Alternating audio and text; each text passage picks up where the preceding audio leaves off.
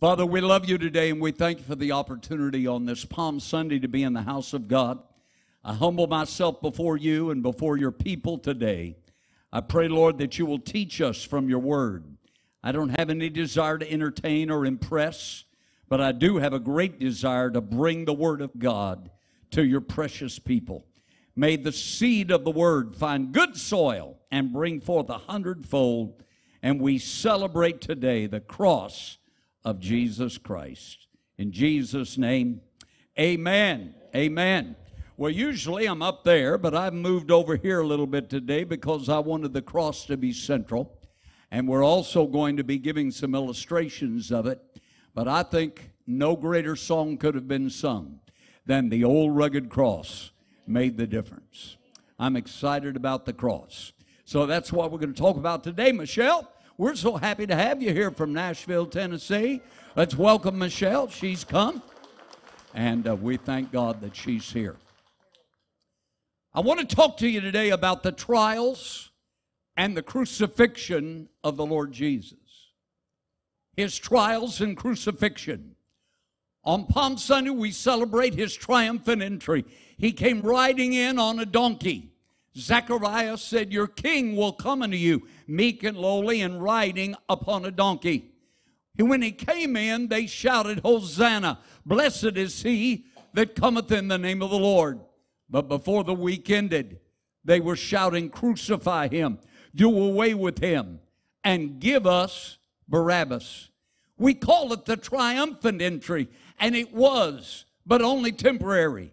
But I have some good news. There is another triumphant entry that is coming. And when he comes back the next time, after he catches away his church, and then we return with him seven years later, he will come back not on a donkey, but on a white charger. He will not come back to die on a cross, but he will come back to rule on the throne of his father David as King of Kings and Lord of Lords. But I want you to go back with me today, and I'm going to walk you through in remembrance the trials and the crucifixion of the Lord Jesus Christ. Something just came to my mind. I remember years ago I preached a major camp meeting for one of the district councils of the Assemblies of God.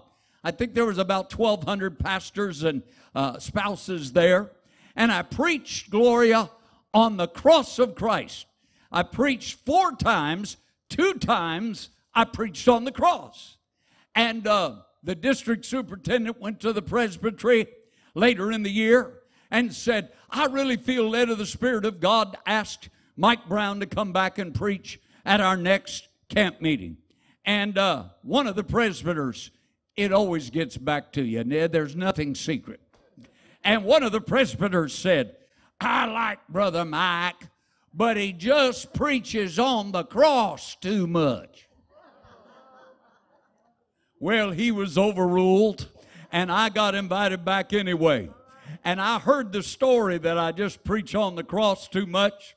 So out of those four services, I preached all four of them on the cross again. Now, I don't know if that was spiritual or I was in the flesh but the Lord anointed it anyway. How many know you can't talk about the cross too much? You can't preach about the cross too much. You can't take the cross out of Christianity and have any Christianity left. So I want us to fast forward from the triumphal entry now to the Garden of Gethsemane. In the garden, when Jesus took his disciples after they had sung a hymn, and after the new covenant in his blood was instituted. And they went and he took three Peter, James, and John. They went a little further than the others did. And he said, Watch and pray with me for one hour. And the Bible said he went forward, and the Greek says he cast himself on the ground, face down in the dust of Gethsemane. And there's several things I want you to see about the garden today. Number one, destiny was revealed in the garden. His destiny was revealed. He said this, now is my soul troubled. And what shall I say, Father? Save me from this hour? But for this cause I came unto this hour. What was his destiny? You were born to live, he was born to die. You were born to enjoy a long life. He was born to live 33 years and to die in agony on a cross. And it was in the garden that, first of all, his destiny was revealed. Secondly, there had to be a decision made in the garden. The Bible said, as I mentioned a while ago, and I'm not trying to be dramatic, you could never dramatize it enough. But he said that um, in the Greek it says that he went and cast himself on the ground. Most of the time, you'll see a picture of Jesus kneeling and a rock in front of him. He's got a glow around his head and his hands are folded in prayer. Well, it's a beautiful picture, but according to the original language, it is not an accurate depiction. The accurate depiction is more like this Father, if it's possible, if it's possible, if it's possible, save me from this hour. If it's possible, oh God, I don't want to drink this cup. I don't want to become Mike Brown's sin.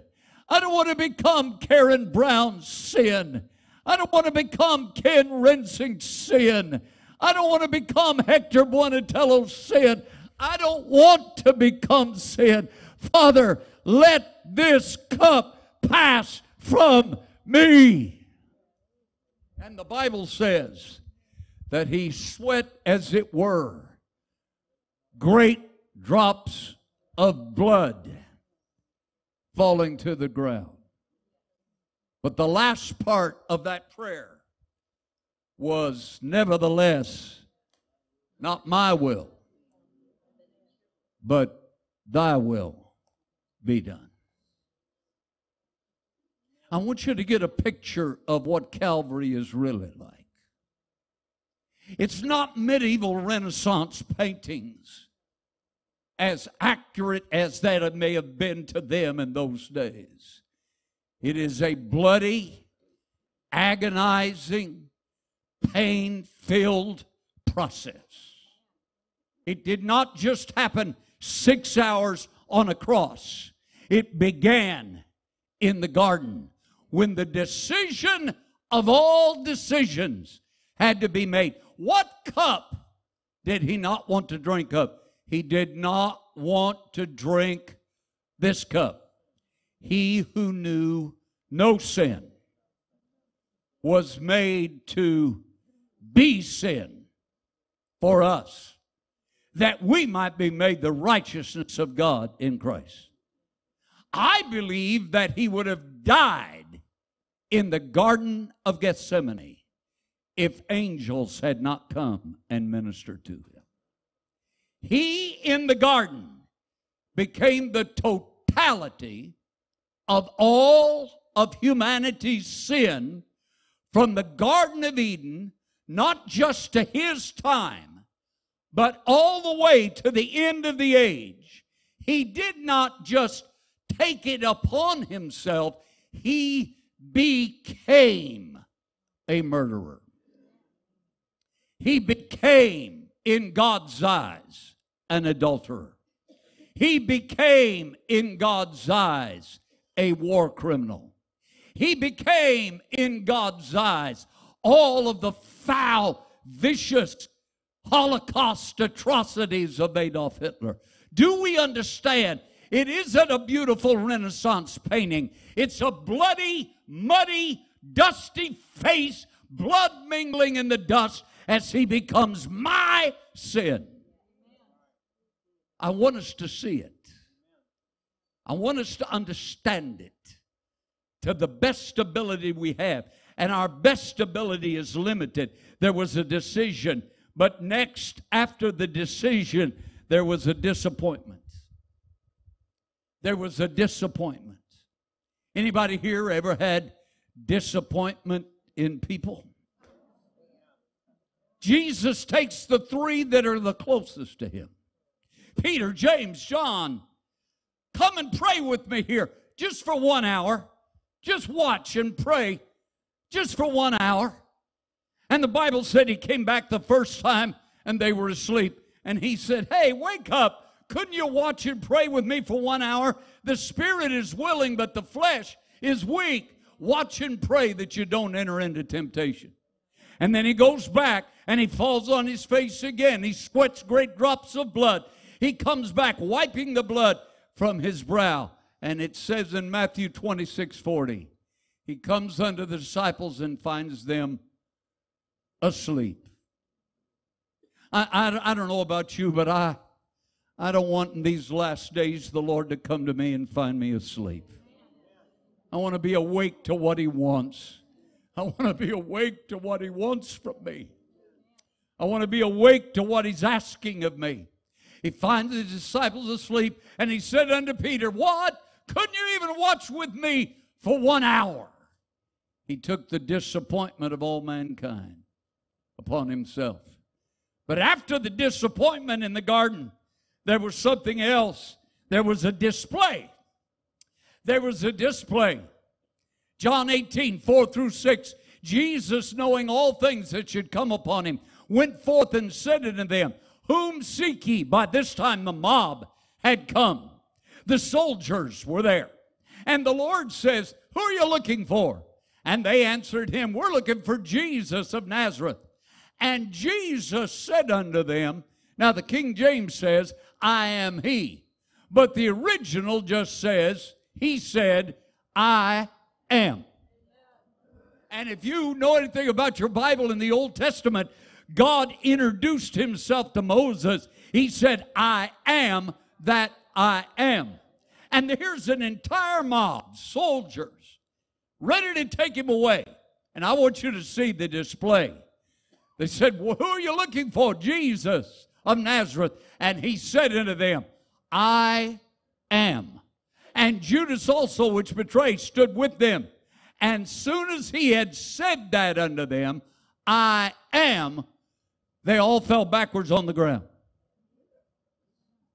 This is not the meek little Jesus lying in a manger. Y'all get the point here. He is not having his life taken from him. And he wants them to know it. He says, Who are you looking for? Jesus. I am. And they all fell backwards on the ground. Now, I've heard of being slain under the power as a blessing, but this was not a blessing. He was wanting them to know who he was. You know what he literally did? It was as if his glory, his divinity, was clothed in flesh because he was a human. And when they said, We're looking for Jesus of Nazareth, all he did was kind of take his flesh, symbolically, not literally, but symbolically, and he kind of let a little of his glory out. Just a little bit. He just said, Who are you looking for? Jesus of Nazareth. And he went this. He said this I am. Come on, did you see it? It was about that long. I am. I am. I want to get every section. I am. I am. Now, if he'd have done this, I am everybody had died. He was the incarnate Son of God. And he wanted them to know no man takes my life from me. I lay it down willingly. And if I have power to lay it down, three days later, I have power to pick it up again. And he showed, that's why I've never been ashamed as a man to follow Jesus. He knew who he was. Yes, he went meekly as a lamb to the slaughter for us. But before he became the lamb and the slaughter, he roared once. He showed them a little bit of the lion of the tribe of Judah. Anybody in the house grateful that we serve a mighty God? And not only was that a display, but Peter whipped out his sword. He was a little bit like Quintus Maximus. Now, if you're a guest today, you don't have any idea what I'm talking about, but I, we've been talking about the armor of God, you know. And Quintus Maximus uh, looks more like, uh, let me see, who was the guy that always, come on, Quintus, stand up on your feet. Woo, Quintus has had an upgrade. He's not, that's enough, son, set out.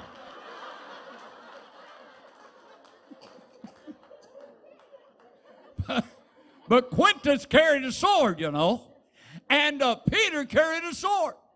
And just a few hours before this event, Jesus said, Peter, you're going to deny me three times. And he said, Not me, Lord. Everybody else may. Everybody else may run away. Everybody else may deny, but not me. But remember what Jesus said in the garden Your spirit is willing, but your flesh is weak. And when it came down to it, he was still willing. And he whips out the sword and goes for Malchus's head. I hear people said, boy, he was sure good with that knife. He cut his ear off. He wasn't going for his ear. He missed. He was going to subdivide.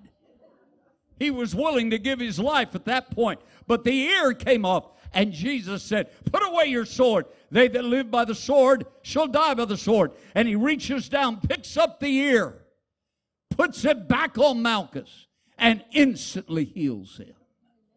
He displays who he is and he displays what he can do. They take him from that time and they lead him away to the trials. You must understand how that they led Jesus.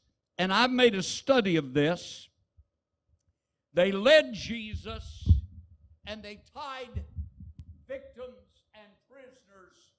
in a very unusual way. They tied them with their hands this way, pulled up between their shoulder blades, and tied. Very painful. Then they tied a rope around their neck and then tied it around their waist to where they walked like this another rope around their neck that they were led by. So this is the picture of Jesus already having become sin, leaving the garden.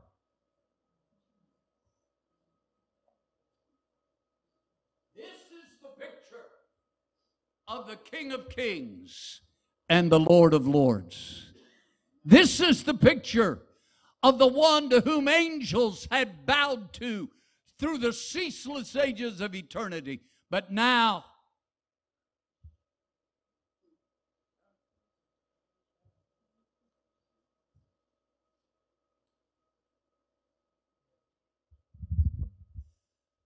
So I have no problem bowing at his feet. I said, I have no problem bowing at his feet. He willingly allows them to lead them away.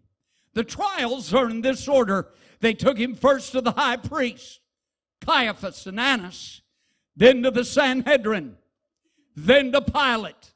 Pilate wanted nothing to do with him, so he sent him to Herod. Herod mocked him and sent him back to Pilate. Every one of the trials were illegal. The high priest, the Sanhedrin, Pilate, Herod, and Pilate, several things happened. First of all, the degradation began. The degradation began. Luke 22. And the men that held Jesus mocked him and smote him. And when they had blindfolded him, they struck him on the face and asked him, saying, Prophesy, who is it that smote thee? And many other blasphemous things they spake against him. I think the passion of the Christ as far as the movie comes the closest possibly to depicting what it was really like. But you cannot really depict it. Isaiah said his visage or his face was marred beyond recognition of that of a human being. The first degradation, humiliation took place. They blindfolded him. And I want you to get the picture. He's standing like this, blindfolded, and the soldiers would walk up. Who smote you?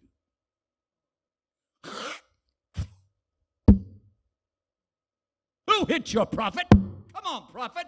Prophesy. Who was? Come on, prophet. Brother Mike, don't be so dramatic. Yeah, I think it's time. We've encrusted the cross in silver and gold and precious stones, and there's nothing wrong with that because it honors what the Lord did. But can I remind you that this was the Creator being humiliated by His creation? It was the Creator going through things. And I and I've made an exhaustive study about the trials, an exhaustive study about the cross, and there are things that Rome and even the Israeli guards did that I would not even make mention of in a church service. Some of the most cruel, brutal people. And I believe that many that were humiliating Christ were probably demon possessed. The Bible said that when Judas kissed him, Satan had entered into him. Meaning what? He was not demon possessed, he was Satan possessed. Who hit you? Prophet? Come on, prophet. And then one would reach out and grab a portion of his beard, rip it from his face. This is the kind of preaching that got my reputation in that district of preaching too much on the cross. Well, I'm still doing it. I think the story needs to be told accurately. Blood is flowing from where his beard was. His shoulders, very well by now, may have been out of joint. The Bible said, My bones are out of joint. None of them were broken, but out of joint. They're hitting him in the face, taking fist, hitting him in the face, eyes swelling shut, degradation, humiliation. This is what the cross is. It's not a pretty thing, it's a beautiful thing. I don't know if you got what I just said. It's not a pretty thing, but it's a beautiful thing. It's beautiful what He did for us. It's beautiful what He did for us. I think of the old song that says, I was guilty with nothing to say, and they were coming to take me away. But a voice from heaven was heard, and it said, Let them go and take me instead. I should have been crucified. I should have suffered and died. I should have hung on the cross in disgrace. But Jesus, God's Son, took my place. Are anybody happy that you don't have to go through the degradation of it? That He took the degradation of it. Declarations were made during the trials. Y'all still with me? Declarations were made. They asked him, Are you the Christ? Tell us. And he said unto them, If I tell you, you'll not believe me. And if I also ask you, you will not answer me, nor let me go. And then notice what he said. But hereafter shall the Son of Man sit on the right hand of the power of God. And they said, Art thou then the Son of God? And he said unto them, You say that I am. And they said, what need have we any further of witnesses? For we ourselves have heard it of his own mouth. He did not shrink back from declaring who he was. He said, and, and people try to say, well, he never said he was the Son of God. He did. You ever heard people say, say something to you and you look back and, and say this? You said it. You said it. That's what he was doing. He said, Yeah, and not only that, you're going to see me as the Son of Man sitting on the right hand of God's glory and coming in the clouds of heaven. And I got some news. Just as sure as he got up on the third day, he is seated at the right hand of God's glory. And for those that know the Lord, we are seated with Christ in heavenly places. And some glad morning, when this life is o'er, He's going to come again, and we're going to uh, rise to meet Him in the sky. So it's not a pretty thing, but it's a beautiful thing. Oh, I love that. That ought to go on a t shirt. Tammy? She's around here doing things, I know. Tammy, that ought to go on a t shirt. I picture it with a cross. And I'll be right back with the rest of you. I'm giving instructions to my staff. See it on the, and I picture it with a cross and say the cross wasn't a pretty thing. There she is. What a, she gave me a thumbs up. How many pray for Tammy on a weekly basis? And, and, and April and Doug and Becky, you know, pray, pray, pray. But oh, I'd wear that t shirt, wouldn't you? It wasn't a pretty thing, but it was a beautiful thing. And then after that, there was a debate. I'm just walking you through this. Y'all still with me? There was a debate. John 18, 33 through 37. Pilate entered into the judgment hall again. Now he's before Pilate and called Jesus and said unto him, Are you the king of the Jews? And Jesus answered him and said, Do you say this thing of yourself, or did others tell it of you? I want to tell you something, man. We have got a good lawyer. If you'll study the way Jesus dealt in this trial, he made them all look foolish. He said, uh, Did you say this of yourself, and did others tell you? And Pilate said, Am I a Jew? Your own nation and the chief priests have delivered you unto me. What have you done? And Jesus answered, My kingdom is not of this world.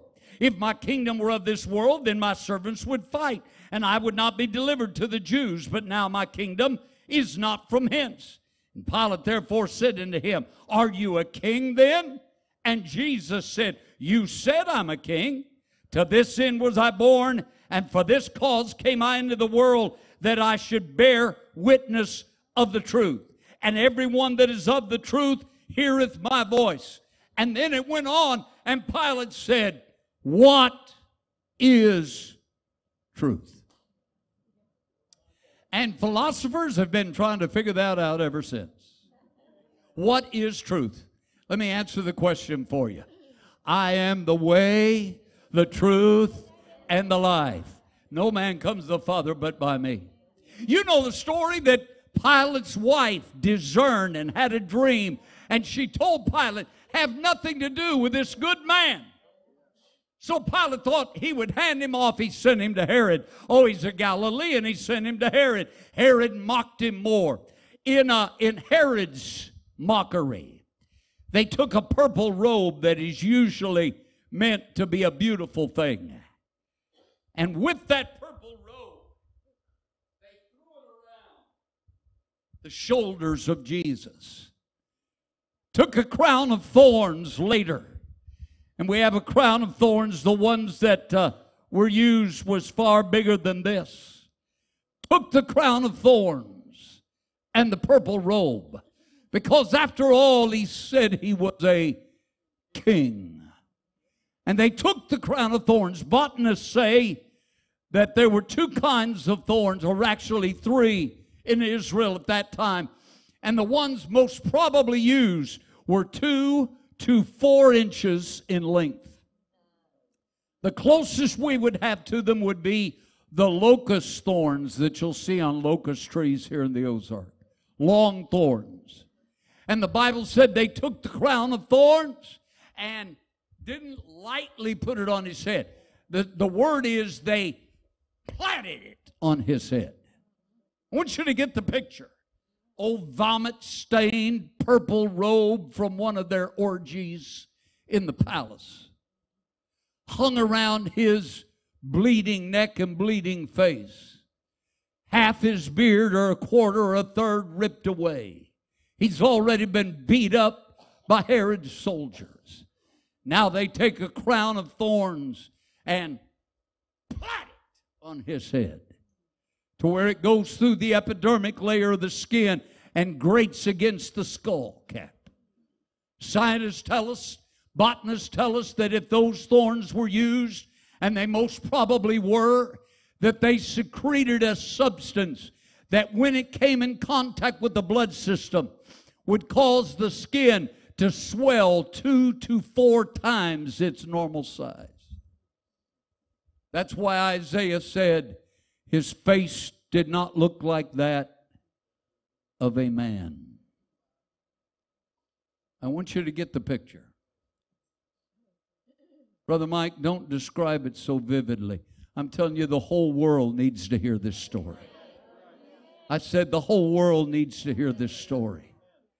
Religious leaders have come and gone, but there was one who came and took my sin and took my humiliation and took my crown of thorns uh, and took my mockery and shed his blood and laid down his life and came back from the grave. And he says, Whosoever will, let him come and drink of the waters of life freely.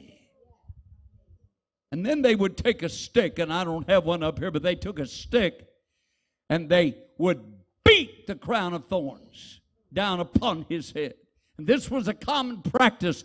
Jesus was not only one to wear a crown of thorns, they would do this often, but they mocked him particularly as king of the Jews, and they beat the crown of thorns down into his head.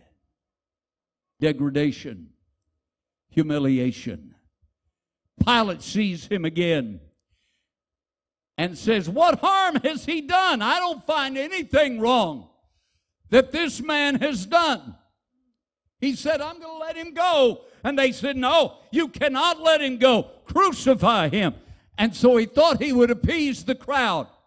And he said, I tell you what I'll do. I'll compromise. How many know there's no compromise about Jesus? You either believe on him or you don't. And Pilate said, I'll compromise with the crowd. And he said, I'll have him flogged. A cat of nine tails was used to flog the Lord Jesus. This is a very accurate depiction of a cat of nine tails. Nine long leather strips, and on the end of each is a ball of metal with a sharp point. This is a cat of nine tails. Usually, when Romans would flog their victims with such a cat of nine tails, two centurions with two cat of nine tails would flog the victim. And if you can imagine the cross now, it wasn't the whipping post, there was a whipping post. But if you can imagine the cross now as the whipping post, the victim would be stripped, usually naked, for further humiliation. His hands would be tied above him. He would be spread eagle like this. And one guard would stand on this side and another on this side at a 45 degree angle. I don't have room to do that up here, but at a 45 degree angle. So when one went around, as soon as it was removed, the other would go around. So there was no let up in the beating. If one centurion did it,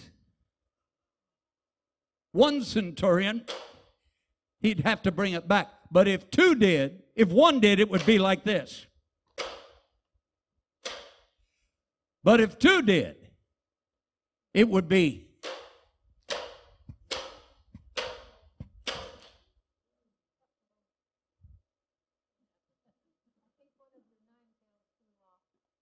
We'll live. Jesus went through that.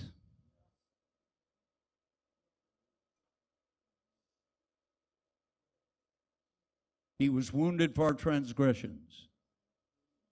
He was bruised for our iniquities. The chastisement of our peace was upon him.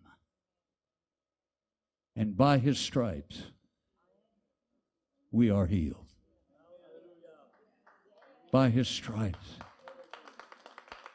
You understand the whipping was not just a physical whipping. It was at the whipping post in the garden he became our sin, but at the whipping post, every sickness known to man was inflicted into his body. Cerebral palsy was inflicted into his body. AIDS was inflicted into his body. Muscular dystrophy, cancer, every COVID 19, the bubonic plague, every one of them was inflicted by these stripes. It was not uncommon for the victims of such a flogging to die at the whipping post. Because you see these leather straps with the metal would go all the way around. And if you could see this cross up here, you'd see the indentations that I made. Would go all the way around. So it would not just be on the back, but it would come around and then in the front, and then it would come from the other side around into the front. So three quarters to all of his body on his torso would be ripped open. It's not pretty, but it's beautiful. I've never said that in my life. I just it hit me when I was talking. It's not pretty, but it's beautiful. What he did. They throw the robe he wore back on him. And he walks up the Via Dolorosa, the walk of pain. They take a crossbeam, usually just the crossbeam, Sometimes he would carry the vertical and the horizontal, but usually just the crossbeam. And historians tell us that it would weigh between 110 to 120 pounds. This is a man that has been beaten by Herod's guards, beaten by the uh, Sanhedrin's guards, beaten by Roman legionnaires, whipped to almost unconsciousness, and he has enough strength to carry a crossbeam. How many know he's not just the Son of God, but he's a man's man? And he carries that crossbeam. Come on, get the picture.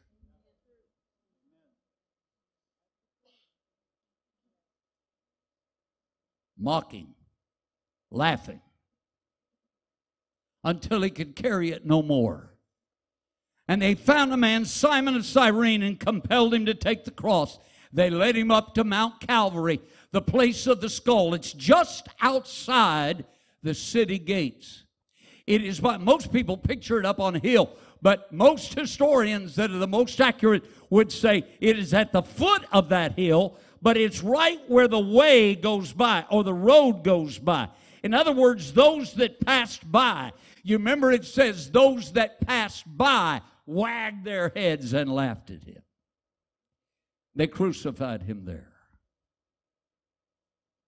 Crucifixion's one of the most brutal, brutal deaths a man can die. Spikes were taken and put into the flesh of Jesus. Most of the time, we picture it being in the palm of his hand. But they crucified them where it went in the hollow of his wrist. You crucify here, you break bones. There was no bone broken. And we know from historical accuracy that when they crucified, and the wrist is part of the hand, so they were able to go between the two bones. There's two strong bones. This will not hold a man on a cross. This will.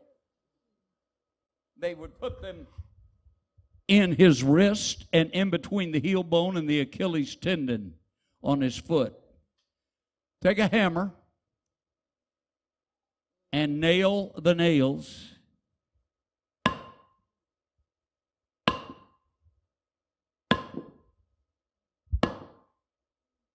Into his hands. They would then take his feet and push them outward.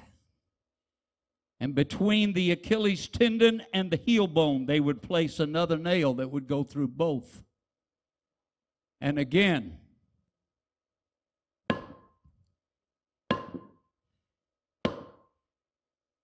They would then lift him up and put the cross beam on the vertical beam. And you would yank down on it. And when you hang on a cross, and I've studied the medical implications of the cross. When you hang on a cross, you hang suspended as such. Let me show you. You hang this way, and all of your weight compresses your lungs together. And in order to breathe, you must push with your legs, pull with your hands, your arms, your back muscles.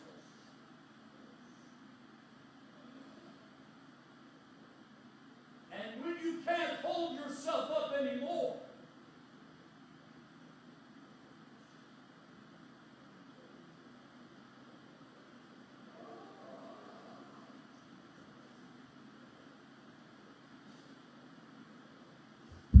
Six hours.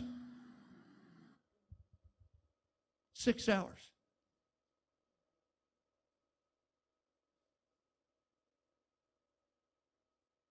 Doctors tell us that after the second hour, a man hung on a cross, that the mucous membrane on his interior of his eyelids, inside of his nose, inside of his mouth, down his throat,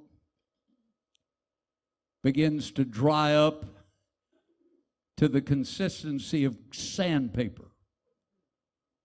So if you open and close your eyes, it adheres to the eyeball. If you try to swallow, there's nothing left to swallow. And it's like sandpaper inside. No wonder the Lord said, when you take communion, remember. Remember. Remember. God, thank you for the young composers that we have today writing songs. And I love a lot of their music, and they're doing a good job. And I think they're in their prayer closets more than they used to be. Come on, somebody. And I'm grateful. I'm grateful for that. But God, give us more composers that'll write some music about the cross again and the blood of Jesus. We need more blood songs. I said we need more blood songs. I'm not ashamed of the blood of Calvary. I'm not ashamed of the cross. He hangs there, rising and falling for six hours. And let me express to you what he said. First statement Father, Forgive them. They know not what they do.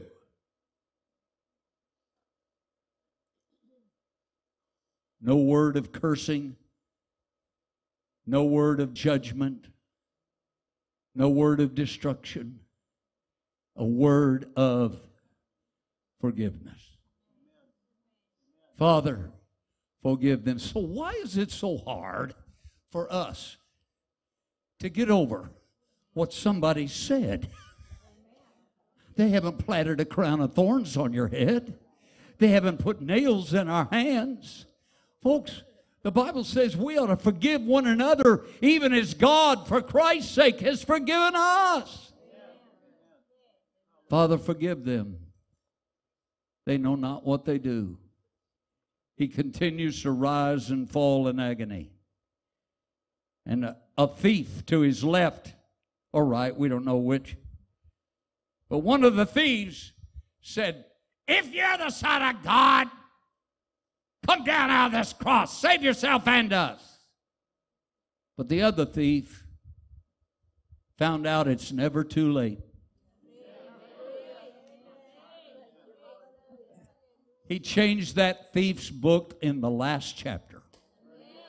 He had written a life of rebellion and sin and anger and hatred and prejudice and murder and thievery. But in the last chapter, that's why I'm telling you, if you're here today, it doesn't mean it's where you've gone and what you've done and where you've been and how bad you think you are. And those of you watching me, it doesn't make any difference. You may think that you've gone too far away, that you've, you've been too wrong, you've been too dirty, you've sinned too much. I got some news. If that thief could get in, anybody can get in. Even at the last minute, you can get in. And he's hanging there. And he looks over at Jesus and he says, he looks the other thief first and he says, he said, We're guilty. That's the first place you come when you come to Christ. I'm guilty, Lord. He said, We deserve this. We have earned this penalty. We're guilty, but this man's done nothing wrong. And he doesn't even think he's worthy enough for God to forgive him. He doesn't even ask for forgiveness. He just asks to be remembered. He says, Remember me when you come into your kingdom. And I love these words. This day, this day, all those other days are gone. It's a new day. This day, you will be with me in paradise. See, you, you, you don't have to have a lot of qualifications and a lot of certification and a lot of religious things to get into heaven. You just got to be with Him. Come on, anybody understand? I, I get to go to the Blackwood show quite a bit, and I never asked this, and, and but they're always so gracious. And I get the, I go on the front, I'm on the front row every time. You know why? Because I'm with them. Come on, somebody. I'm, I'm with them. And the real reason is RW wants to come down and stick a microphone in That's why I had to leave. I had an emergency call. I went Thursday, we had an emergency call, and I had to leave. And they were up singing, the spotlights on them. And, and you were doing, turn your radio on, weren't you? And he always comes down, puts a microphone in front of me, wants me to stand up and sing a phrase or two. And he came down, he's going like this. And Karen said, I was just so hoping he wouldn't put that microphone in front of me. but, but I get to enjoy that on that front row. Why? I'm with them. I, I don't deserve to be on the front row, but I'm with them. I don't deserve to have that prime seat, but I'm with them. I don't deserve to be up there, but I'm with them. I don't deserve to get to sing, but I'm with them. It's not my worthiness. Oh, come on, somebody. And can you imagine that day as the thief later died or after Jesus? And he walks up to the gates of paradise. And, and somebody may have said, What right do you have to be here? You've been a thief all your life. You've been nothing but cruel. You've abandoned people you love. What right do you have to be here. And Jesus has already got there. And a voice from inside says, Leave him alone. He's with me. Excuse me, just a moment, just a moment. Glory to God. Hallelujah. If you're not going to shout about that, I'm going to. Hallelujah. He's with me. Not by my might, not by my worthiness. I'll, I'll get to the end of this in a minute, but I feel like shouting a little bit right now. I'm with Him, baby. I may not be perfect, but I'm with Him. I may have failed in my life, but I'm with Him. I may not meet the, the standard, but I'm with Him. And friend, you don't need all the religious mumbo jumbo. You just need to know Jesus. And when you're with Him, don't worry, the Pharisees weren't there.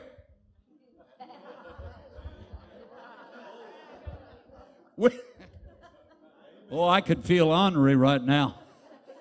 The ones that crucified him weren't with him, it was the thief that was with him. This day you'll be with me in paradise. He keeps rising and falling, and he looks down and he sees his mom standing at the foot of his cross. Next to John, the only apostle, one apostle, goes to the cross with him. And he sees his mother and he calls her woman, not mother. Woman. Woman. Now, that's not a term of, of despite or a term of rejection. Woman. Woman. Behold thy son. And he's not talking about himself, he's talking about John. And he says, John, behold your mother. And here's a little something I want you to see. The Bible says from that very hour, G- John took his mother, Jesus' mother, to his own house. From that hour, that moment. You know why Jesus did that? Doug, go on up if you would. You know why Jesus did that? There was one person on the hill that tempted his flesh in coming off that cross. And when he looked down and saw his broken-hearted mother weeping at the foot of his cross, something in his flesh says, don't let your mother's heart be broken watching this anymore. You can come down off this cross. So, you know what he did? Here's what he did in plain Ozark English John, get her off this hill. Take her off this hill. Take care of her from now on, but get her off this hill. I don't want her to see this, and I don't want to watch her broken heart. It's the only thing up here that tempts me to come off this cross. So he dismissed his mother. He hangs on the cross a little longer. Then the Bible says, as it began to be dark, and as the wind began to blow, he screams out, My God, my God, why have you forsaken me?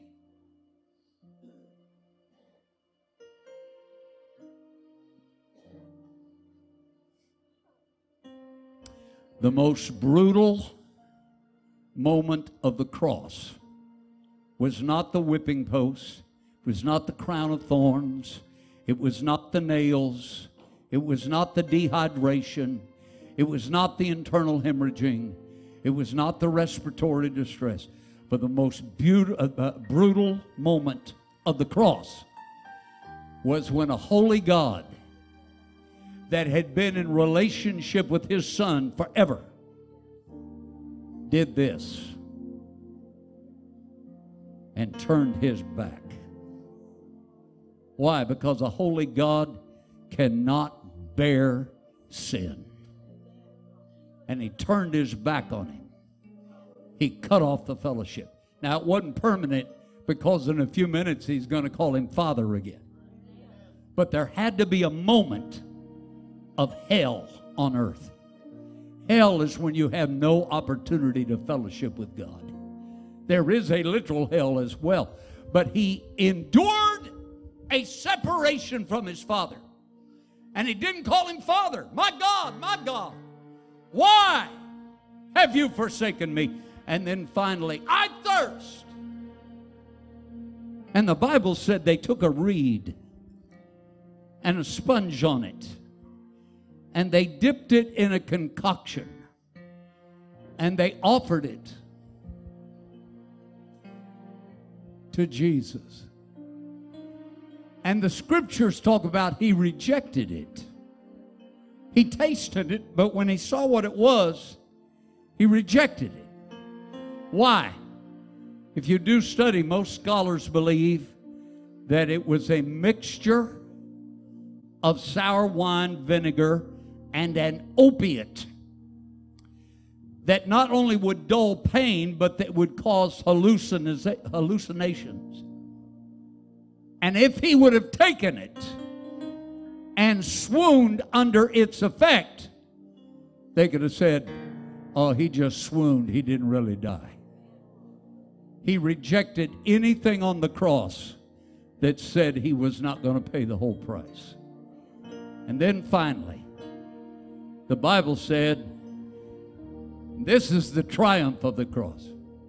He pulls himself up and he says this It is finished. It is finished. What was finished? The payment for Mike Brown's sin, the payment for your sin. It wasn't half paid, it was finished. It was totally paid, it was totally ended. I think I may have told you this before, but in the Old Testament on the Day of Atonement, y'all still hear? I'm not boring you, am I? They would take a goat and lay their hands on the goat and confess the sin of Israel over the goat. And then a priest would take the goat into the wilderness bearing the sin symbolically and hand him off to another priest, and that priest would take him farther into the wilderness. Hand him off to another priest, and that one would take him farther, and another, until another took him so far out in the wilderness that he could never find his way back. When he got him there, that one priest would turn around and yell back, It is finished! And the other priest would hear that and turn toward the camp. It is finished. And the next priest, it is finished. Until it reached Aaron in the tabernacle. And when Aaron heard, it is finished, he'd raise his hands over the congregation and say, Your sins have been atoned for. And when Jesus hung on that cross, he took our sins as far as the east is from the west, never to be remembered. And Peter said on the day of Pentecost, It is finished. And Paul picked it up later, It is finished. And the apostles preached it, It is finished. And Billy Sunday preached it, It is finished. And D.L. Moody preached it, It is finished. And Gary McSpadden preached it, It is finished. And Mike Brown is preaching it today, It is finished. Hallelujah. And you don't have to bear your sin. It's been paid for in full. It is finished. And one more thing he said on Calvary that day. The Bible said he slumped, and right before he dies, he pulls himself up and he says, Father, because when the sacrifice is finished, you come back into fellowship. Father, into your hands I commend my spirit. And the author of life slumps and dies. And the enemy may have thought, boy, this has been a good day. The worst day he ever had on the earth. Because the Bible said when he slumped and died, that the veil in the temple was torn in two from the top to the bottom. I said from the top to the bottom. It, it wasn't man doing it from the bottom to the top. It was God doing it from the top to the bottom.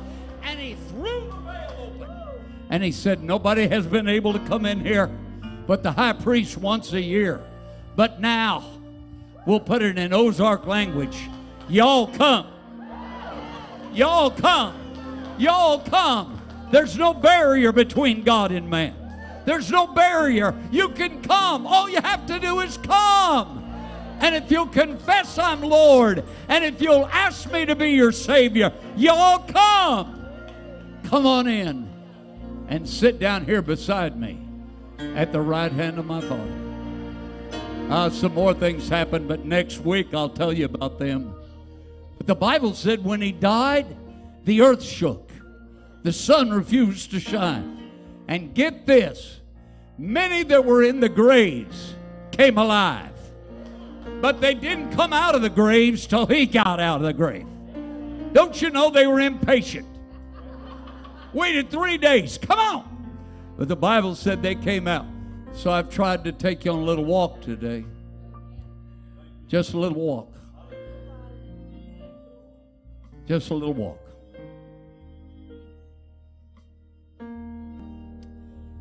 Still preaching the cross.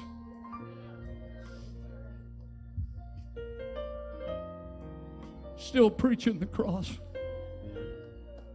My friend, I don't care who you are or where you are and what you've done or what you haven't done. You may have been like me and sat on a church pew your whole life, but all of us have sinned and come short of the glory of God. And there's none of us righteous without Him, no, not one of us. And the Lord doesn't want to just keep you out of hell, He wants to have a relationship with you, man. I mean, you can have a relationship with this Jesus because He's not hanging on that cross anymore. And He's not a smoldering corpse in a tomb. He's alive. He's well. He's vital. He's involved. He's interested in your life. And so, one more time, I would say I'm sorry that the cross affects me this way, but I'm not. When it stops affecting me this way, Carol, I'll get out. I don't ever need to preach again. If I can't preach about the cross with tears in my eyes and a realization that I am what I am by the grace of God and nothing else. You're healed of cancer because of the cross. Uh, you you know, standing feet. She shouldn't even be here, but she's healed of cancer because of the cross of Calvary. You say, but Brother Mike, what about people that go on home? They are too. Whether it's here or there, the cross has made the difference. The cross has made the difference. So I'm going to let you go in a few minutes. But if you listen to a little preacher of the cross today, nothing else you can ever do will give you life. Nothing else you will ever do will bring into fellowship with God. He's already done it. All you have to do is accept it and follow Him. Come on, slip your hand up and give Him praise for the cross. Come on, just give him praise for the cross. Thank you, Lord. Thank you, Lord. Thank you, Lord. Thank you, Lord. Thank you, Lord. Thank you, Lord. Thank you, Lord. Thank you, Lord. Thank you, Lord. I want every head bowed, every eye closed. Those of you watching online, I'm speaking to you as well today. I don't know how long the Lord will let me continue to preach the gospel of the cross. I've asked Him to let me have decades more. That's up to Him. But I've spent my adult life traveling around the world telling you, He died for you. He died for you. And whether you're online or in the house today, I'd be a fool if I'd walk away from this message and not give you an opportunity to know that you're right with God through Jesus. While no one's looking around, I want people to look at your heart. I want you to look at your heart. I'm not talking about water baptism. I'm not talking about being good. I'm not talking about church membership. I'm not talking about good works and giving to the poor. I'm talking about have you accepted Christ as your personal Savior? And if you have, are you walking with Him? Or maybe you once did, but you've walked away from the Lord. And before we go in the final prayer, you'd say, Pastor Mike, pray for me today. I'm not sure I'm right with God, and I want to be sure. I want to know I'm right with God. If you're like that all over the building, and if you're watching online, you can raise your hand where you are. Just slip your hand up high right now in Jesus' name. Yes, I saw that. Yes, I saw that. Anybody else? Anybody else? Those of you watching online, you say, Pastor, I'm not there, so it won't work. Oh, yes, it'll work right where you are, right where you are. The word says, Whosoever will, let him come, let him come, let him come. And that's what I'm doing. I'm letting you come. I can't see your hand being raised, but you go ahead right where you are. Just raise it up to the Lord, and He'll see where you are. We're going to pray a prayer in a moment. Anybody else in the house? I'm looking. A couple have raised their hands. Anybody else? Anybody else? I'm not sure I'm right. Yes, yes, yes, yes. I see it. God bless you. I see it, but you put it down. I see it. Praise God. Praise God. Praise God. Praise God. I'm going to ask one more thing as the Holy Spirit leads me. I'm profoundly moved by this service today. I can tell you I'm profoundly moved.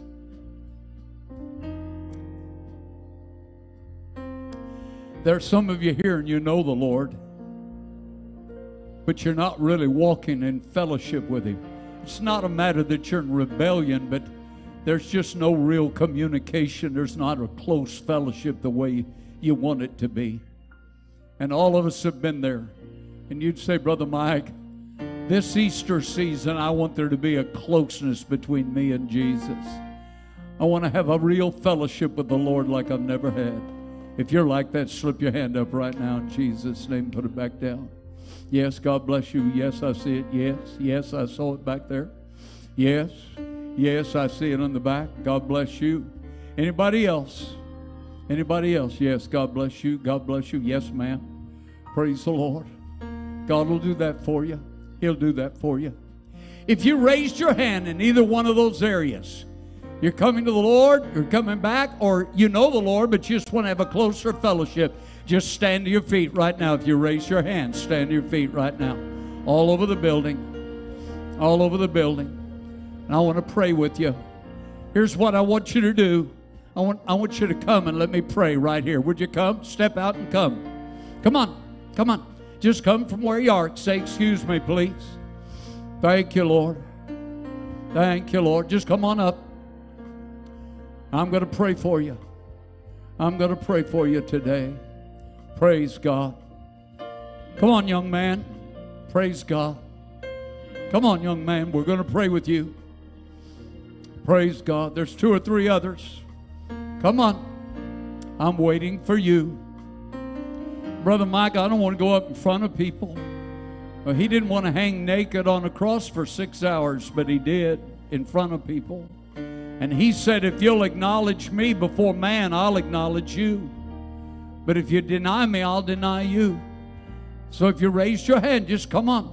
Say, Well, Brother Mike, I didn't raise my hand, but I need to be up there. Well, come on. Come on. Come on. And I'll pray for you. Come on, young man. Let me pray for you. That's it, buddy. Come on. Yeah, come on. Hallelujah. My pleasure to pray for young men like this. Praise God. Wow, what a great family. Great family. Greatest honor of my life has been able to pray with people like you. Some of you may be the first time that you've come to Christ, others of you know the Lord. But you just want to have a close fellowship with Him. And the Bible says, if we'll confess with our mouth the Lord Jesus. Just meaning you're Lord of my life. You're Lord of my life. And you believe in your heart that God raised him on that third day. We'll talk about that next Sunday. Raised him on the third day. He said, You'll be saved. The greatest time in your life. But he doesn't want to just forgive you, he wants you to have a life walking with him. You know what I've discovered? I've got bored with a lot of people. I've got bored with myself quite frequently. But I've never been bored with Him. And when you really know Him and walk with Him and talk with Him, it's life transforming. I want to pray with you today. You may have prayed this prayer before, but I want to pray the prayer with you. And then I want to pray for you. And if you'll mean it from your heart today, God will give you a new beginning. Those of you that know the Lord, a new fellowship will begin, man. New fellowship, pal. So glad you're a part of us. Pray this prayer with me out loud. Would you do it right after me? Dear God in heaven, I come to you just as I am. I realize you died for me. I accept that. I ask you for your mercy and your grace. Right now, I confess that you are Lord over my life. I believe you have risen from the dead. I accept you now as my Lord and Savior. I thank you for your grace and your mercy. I receive it all because you finished the work that needed to be done. In Jesus' name.